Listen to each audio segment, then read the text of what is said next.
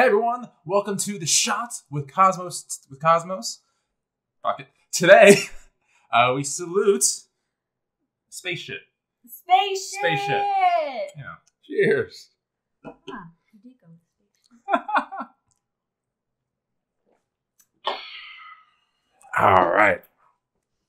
So the first recorded instance of spaceship, a space toiletries, if you will, occurred not in space, uh, but in fact with Alan Shepard on the launch pad aboard Freedom Oh. 7. Oh. So it was the first American launch into space. It was supposed to be a 15 minute flight.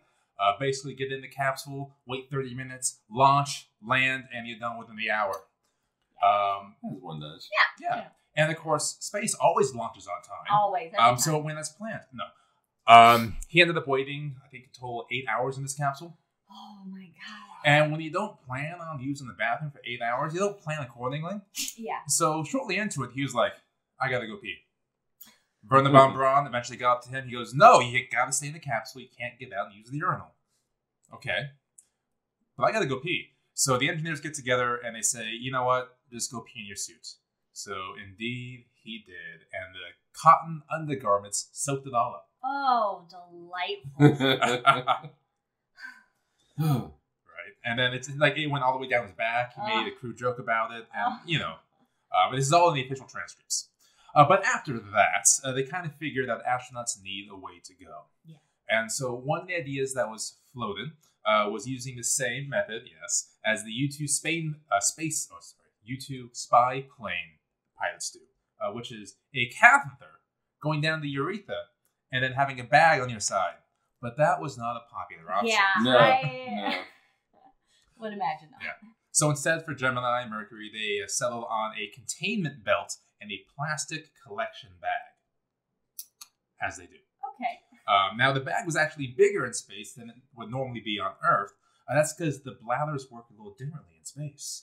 So on Earth, you have gravity, which settles everything down. Uh-huh. So when you feel that pressure, you know it's time to go. Uh-huh. But in space, with microgravity, um, it just expands until it's fully loaded. And then you're like, I gotta go. And then you just unleash like the most pee you ever had in your life. Wow. So the bag was a little bigger. Um, and then eventually just came to like diapers, for example, as well, just just in case. Yeah. Um, but that was still for short trips. For longer Right. trips, like the Apollo missions, they needed a different method, a different containment. Can't method. wear their huggies the whole four days. No, that would start smelling bad.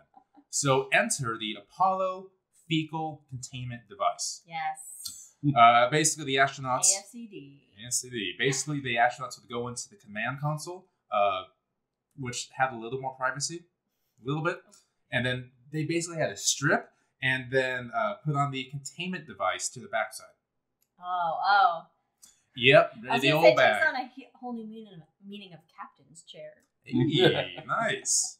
So the urine could be ejected back into space. Um, in fact, some astronauts they saw the urine go out, and because it froze immediately and glinted in the sun, they It's s- like pee crystals. pee crystals. Yeah, they said these pee crystals was often like one of the most beautiful sights because it's like frozen shards in the sunlight in Mm. space. Oh. Um, now, once the material was inside the bag, uh, the astronauts had to add a germicide pouch, a germicide pouch into the bag Uh-huh. itself, uh, just in case of like microorganisms got out Yes. and became old. Yes, this is the beginning of a horror movie. Yes, that's fine.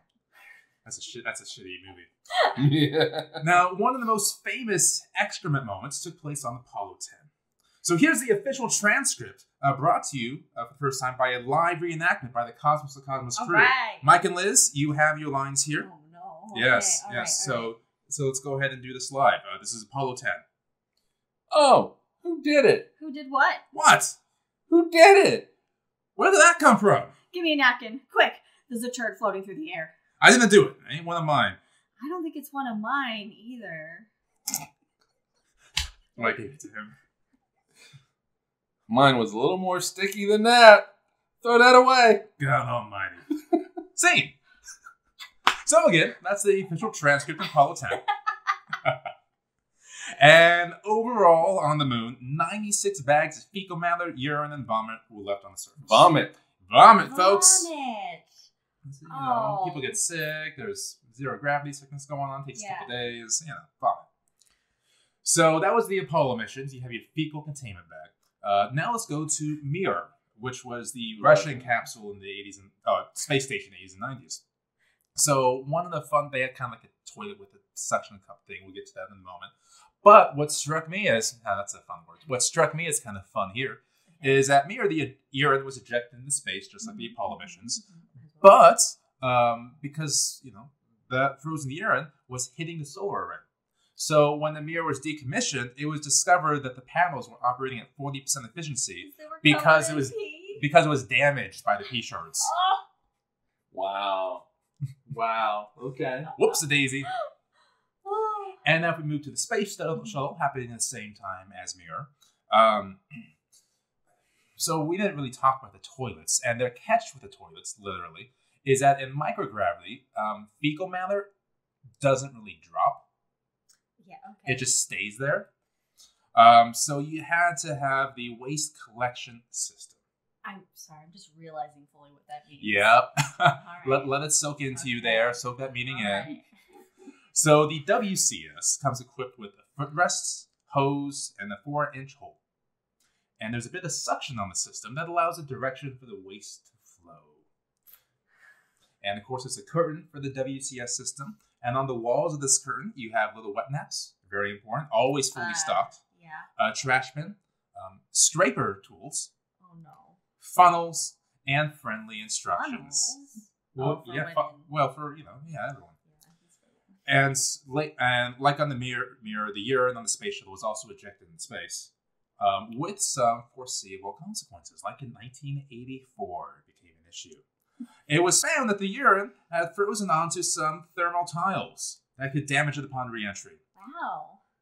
So, in perhaps the greatest hour, uh, the Canadarm was used to scrape the frozen pee off the TPS tiles. Wow. Okay. Now we have the International Space Station. Uh, again, suction toilets, things like that. And in 2020, a new toilet was installed, the Universal Waste Management System. Ooh. Came in at $23 million. wow. That's for development, installation, all the whole stuff. Probably the most expensive toilet currently in use. What? Yeah. Well, not quite. Um, okay. and there's a nice little lid, a seat, Uh-huh. and better compatibility for female anatomy, which is Oh, great. Jesus. Now, considering the ISS is continuously occupied, uh, the urine isn't stored; it is recycled. Ah, yes. Drink that be? Yeah, Drink it. right. Ninety percent of all liquids um, on the station is recycled, including urine and sweat. And as astronaut Jessica Meir says, "Today's coffee is tomorrow's coffee." So, with that, thank you, Spaceship, and follow us on Dream Cosmos, Cosmos Cosmos, all the things. Enjoy your day. Cheers, everybody.